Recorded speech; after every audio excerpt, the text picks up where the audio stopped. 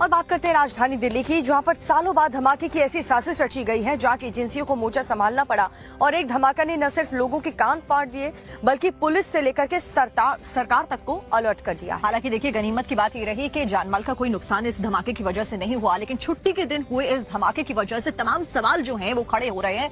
Report में देखिए।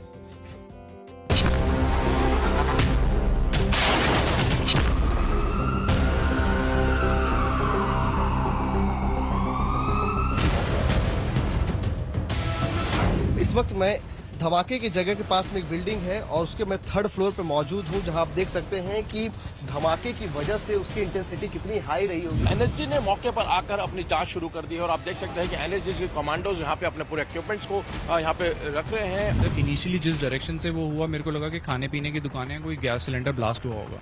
लेकिन गैस सिलेंडर ब्लास्ट की इतनी इंटेंसिटी नहीं होती। अगर ये धमाका शाम को हुआ होता तो बहुत ज़्यादा मतलब जान माल का नुकसान हो सकता था।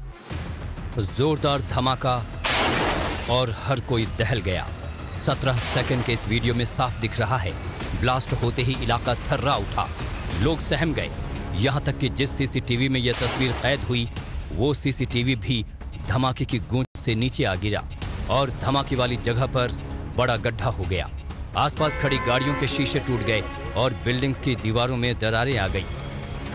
इस वक्त मैं धमाके की जगह के पास में एक बिल्डिंग है और उसके मैं थर्ड फ्लोर पे मौजूद हूँ, जहाँ आप देख सकते हैं कि धमाके की वजह से उसकी इंटेंसिटी कितनी हाई रही होगी कि देखिए, ये पूरा शीशा जो है वो बिखर चुका है, जो टाइल्स लगे थे वो बिखरा हुआ है।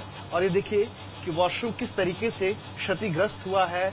इसके ठीक ऊपर की जो छत है, उसकी दीवार में भी दरारें आई हैं। रोहिणी का ये वही इलाका है जहाँ हुए धमाके की गूंज से पूरी दिल्ली हिल गई।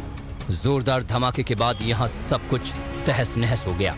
स्कूल के दीवार के सामने बनी एक भी दुकान नहीं बची, जिसमें नुकसान न हुआ हो।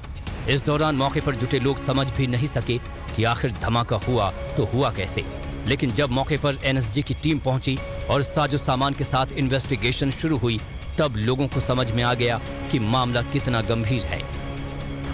हाई इंटेंसिटी ब्लास्ट इसको करार दिया गया है कि ये जो ब्लास्ट है, एक हाई इंटेंसिटी ब्लास्ट है, क्योंकि इसका असर जो है वो सौ मीटर तक देखने को मिला था। और आप देख सकते हैं एनएसजी के एक एक कर जो इक्विपमेंट से बाहर आ रहे हैं रोबो जो है वो इस वक्त लाया गया है। यानी स्पॉट पर अब रिमोट कंट्रोल की से रोबो भेजा जाएगा, जो जाँच करेगा।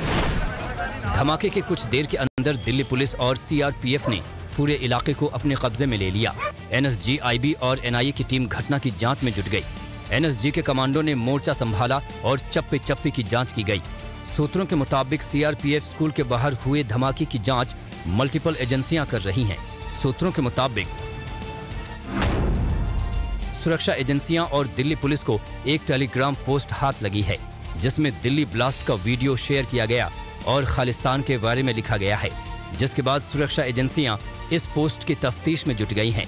दूसरी ओर टेरर एंगल के साथ ही नक्सली एंगल से भी ब्लास्ट की जाँच की जा रही है, क्योंकि नक्सलियों के खिलाफ तमाम ऑपरेशन को सीआरपीएफ की टीम ही अंजाम देती है। देश का दिल दिल्ली को दहलाने की साजिश भले ही नाकाम रही, लेकिन धमाके की गूंज अपने पीछे कई बड़े सवाल भी छोड़ गई।